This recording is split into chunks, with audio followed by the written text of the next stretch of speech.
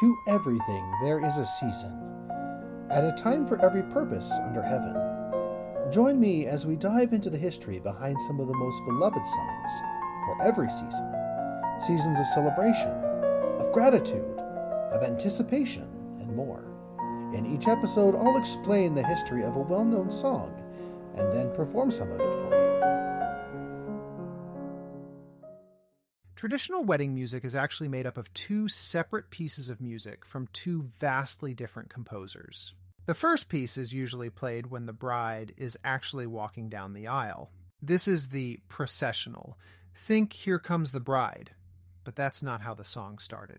Written by Richard Wagner, this piece is part of his 1850 opera. Lohengrin was known as the bridal chorus.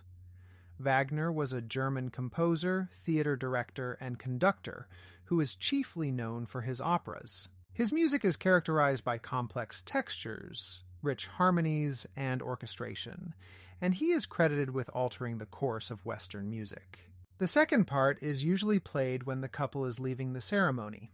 This is the recessional, the piece was composed by German composer Felix Mendelssohn in 1842 as part of his incidental music for William Shakespeare's play, A Midsummer Night's Dream.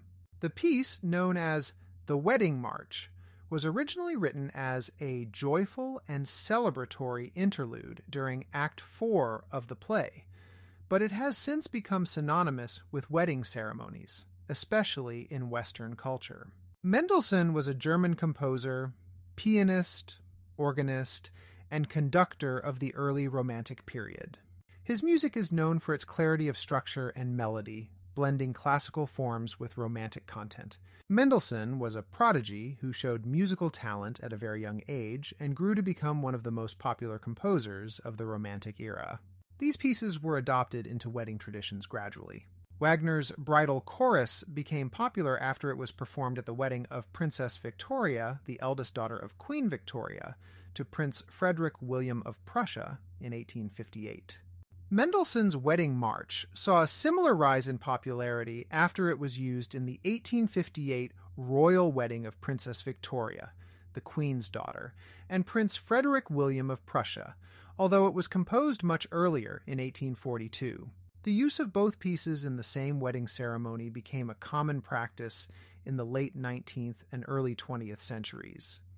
As the tradition of a white wedding, popularized by Queen Victoria herself, spread, and these pieces of music became synonymous with the wedding processional and recessional. Thank you for listening. May music fill this and every season of